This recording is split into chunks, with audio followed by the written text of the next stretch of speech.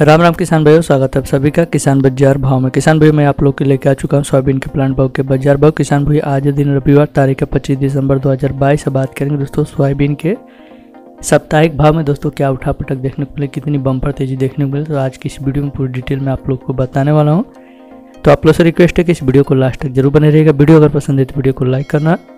और इस वीडियो को ज़्यादा से ज़्यादा शेयर अवश्य करना किसान भाई, अगर आप लोग चैनल पर नए तो चैनल को सब्सक्राइब ज़रूर करना, बगल में बेल आइकन को भी ऑन करें, ताकि कोई भी वीडियो अपलोड करो, उसका नोटिफिकेशन आप तक पहुँच सके।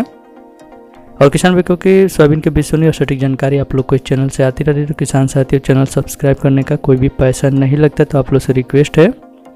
कि चैनल को सब्सक्राइब ज़रूर कीजिएगा। तो चलिए आज का वीडियो शुरू कर इटारसी पाँच हज़ार छः सौ पचास रुपया, बैतुल पाँच हज़ार सात सौ रुपया, सोलापुर पाँच हज़ार आठ सौ रुपया, लातूर पाँच हज़ार आठ सौ रुपया, हिंगोली पाँच हज़ार सात सौ पचास रुपया।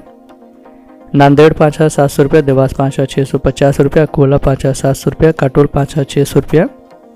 उज्जैन छः हज़ार चार सौ पचास रुपया दूल्हे पाँच हज़ार छः सौ रुपया इंदौर पाँच हज़ार छः सौ पचास रुपया अंबुजा पाँच हज़ार सात सौ पच्चीस रुपया कोटा पाँच हज़ार नौ सौ रुपया बरसी पाँच हज़ार सात सौ रुपया अक्टोगन पाँच हज़ार आठ सौ रुपया दिशान पाँच हज़ार छः सौ रुपया